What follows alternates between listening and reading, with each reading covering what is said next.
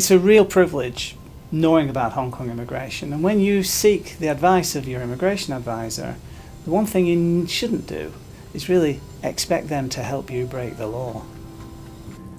I'm on a sponsored work visa which expires in three months.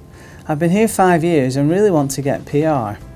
I'm leaving my current Hong Kong employer next month and my friend who has his own company has agreed to sponsor me for my new visa permissions until I get to my seven years. I've no intention to work for my friend, uh, but just to keep my visa going through until my right of abode. Actually, I'll be spending a lot of my time overseas working on various projects for myself, and I need to understand how the situation will work so I can still get my PR. Please advise. It never ceases to amaze me that after all these years of practicing immigration in Hong Kong, some people just don't take the law very seriously.